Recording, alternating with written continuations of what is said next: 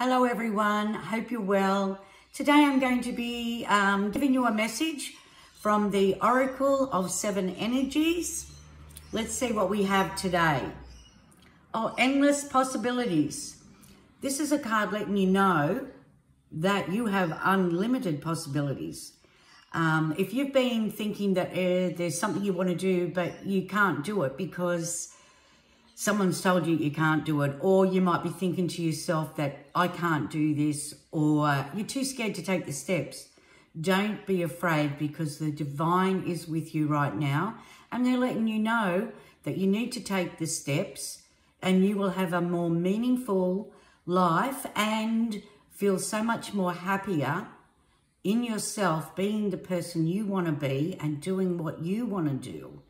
So don't be afraid to take the steps, you will have unlimited possibilities and the doors are open wide right for you now. So don't be afraid. You will be a better you because of it. Thank you for watching. Bye.